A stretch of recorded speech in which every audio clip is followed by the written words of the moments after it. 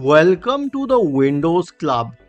If you wish to make webcam look better in your Windows computer, then either read through this article on the website or simply watch this video. I will guide you through the resolutions.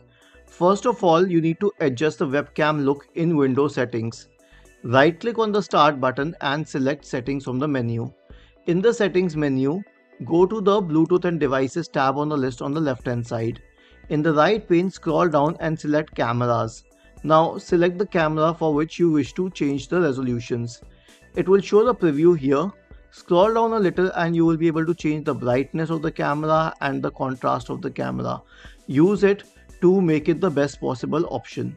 The next solution will be to adjust the screen resolution. Go to the settings menu once again and this time go to the system tab. On the list on the left hand side, select display.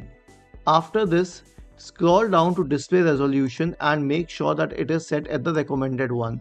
After this, you can try generic solutions like improving the lighting and having a clear background and then using third-party video makers like OBS. Isn't this easy and interesting?